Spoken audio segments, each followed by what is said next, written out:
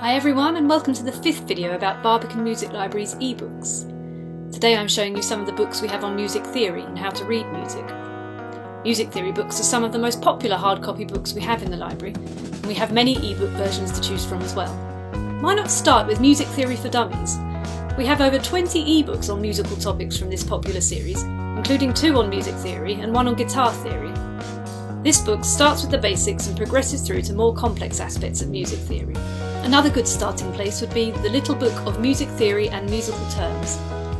Although it's a small book, it gets right to the point in helping beginners, and those refreshing their memory, on how to read music.